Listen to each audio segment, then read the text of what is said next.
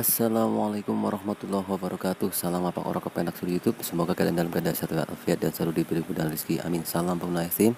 Halo teman-teman hari ini saya ingin berbagi pengalaman ya. Cara permasalahan AC Steam ya teman-teman ya. Part apa saja yang saya ganti dan gejalanya part itu seperti apa dan saya ingin berbagi informasinya teman-teman. Ya. Ini pengalaman saya teman-teman ya.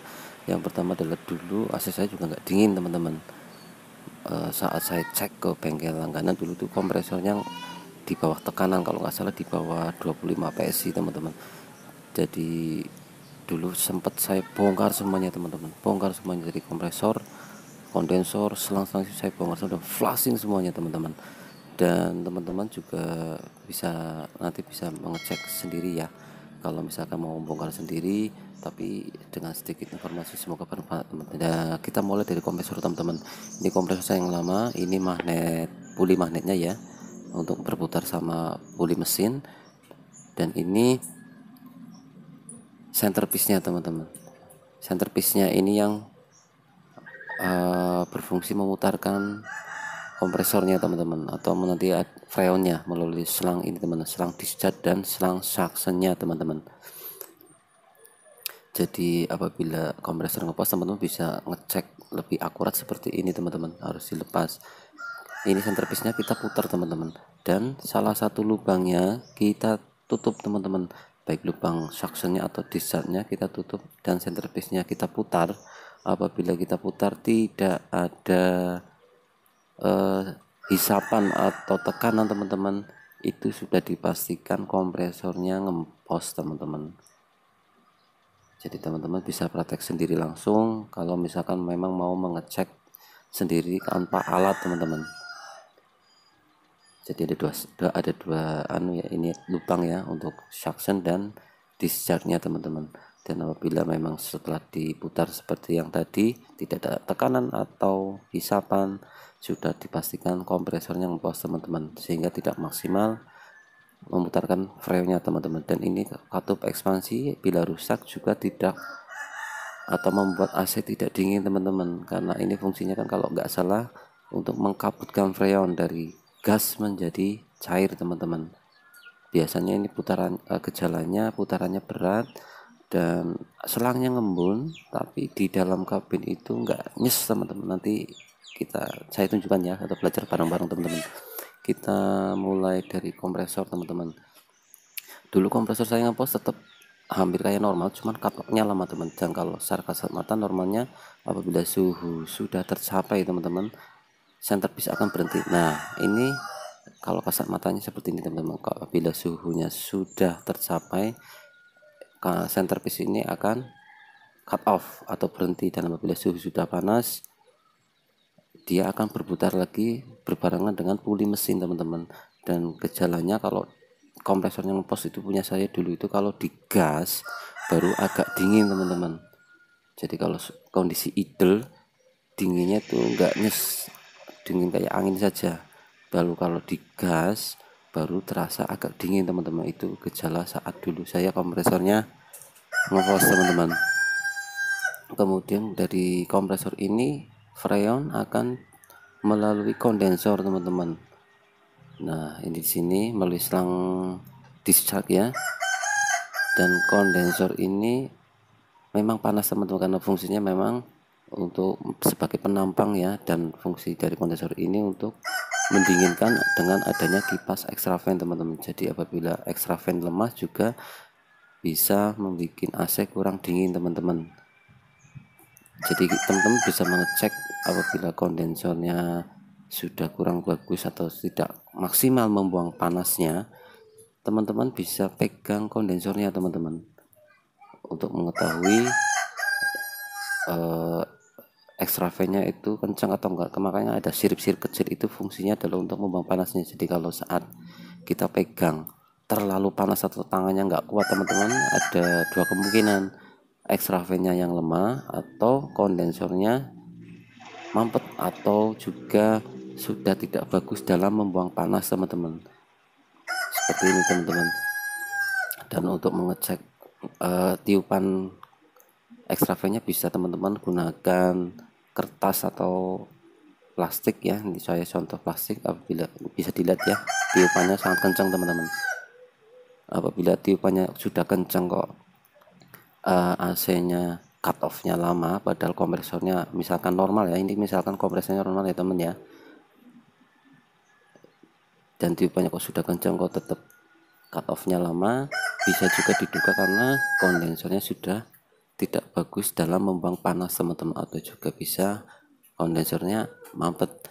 Dan dan ciri yang kedua bisa kita cek dengan cara kita siram air ya teman-teman. Bila di saat cuaca panas kok nggak mau cut off tapi saat kita siram dengan air dia mau cut off teman-teman dan uh, agak dingin ini bisa jadi karena memang kondensernya sudah kurang bagus dalam membuang panas teman-teman. Jadi saat kita siram air kondensornya dia mau cut off misalkan.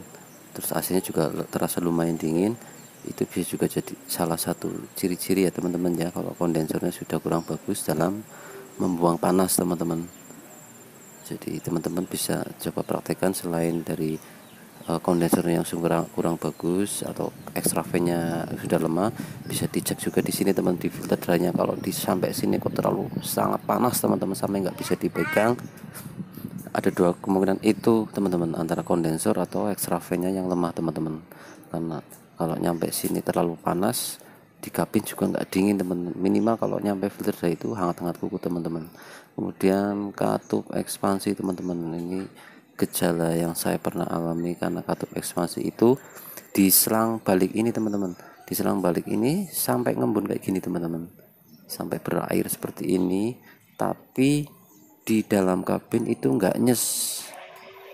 Dan putaran mesin berat teman-teman itu pas saat gejala yang saya rasakan saat katup ekspansinya bermasalah ya. Jadi selangnya ini dingin sampai ngembun kayak gini. Dan putaran mesinnya agak berat.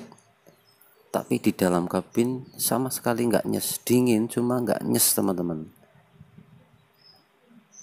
Setelah saya ganti katup ekspansinya nyes lagi teman-teman. Dan untuk lokasi relay AC kalau yang masih ori ya atau belum dirubah di sini teman-teman lokasinya di pok hitam ini. Karena punya saya kan saya dapat dulu sudah dirubah teman-teman di bawah dashboard itu nah, pas saya bikin cara bikin fan radiator nyala bareng itu sudah dirubah sama pemilik sebelumnya teman-teman. Dan kita masuk ke kabin ya sekalian ngecek suhunya. Ini sudah kurang lebih 15 menitan saya tadi nyalakan dan blower teman-teman blower di bawah. Kalau blower mati juga bisa bikin AC kurang dingin ya teman-teman ya. Blower di sini bisa cek resistornya teman-teman. Saya pakai termostat yang universal dan ini suhunya sudah turun teman-teman. Dan saya ingin berbagi pengalaman saat magnet clutch atau centerpiece nya bermasalah teman-teman.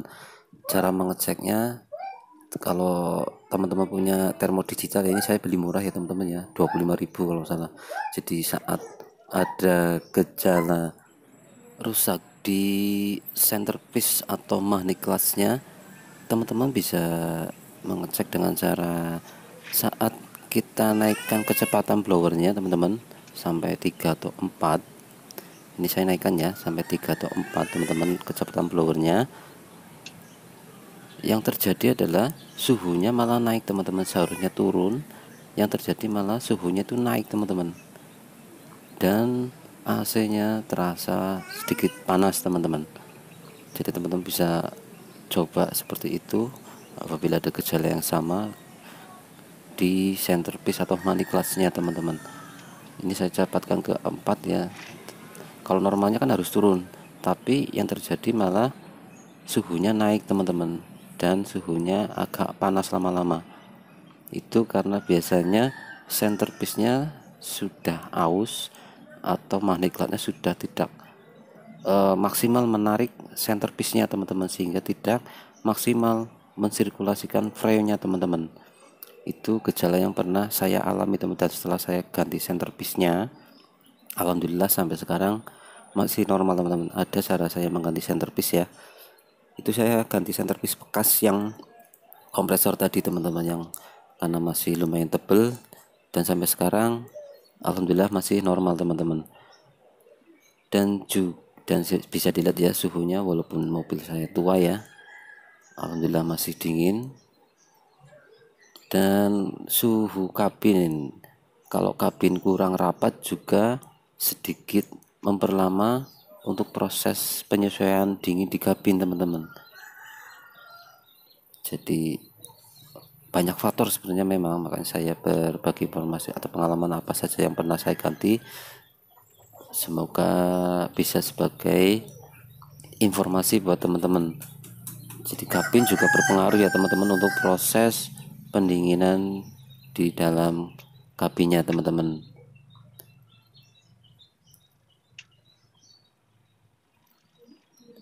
kita keluar lagi ya untuk mengecek bagian lagi. Dan bisa dilihat teman-teman ini jam 3 sore teman-teman.